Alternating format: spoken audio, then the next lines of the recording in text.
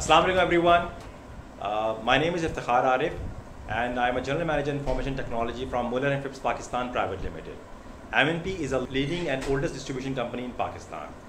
I am really grateful to Mr. Adnan and Mr. Kamran for giving me this privilege to attend this event and I wish good luck for Digitally Tech and uh, Stark TV for their future endeavors. I would request all my followers and friends to please view this interview and subscribe this channel. Thank you.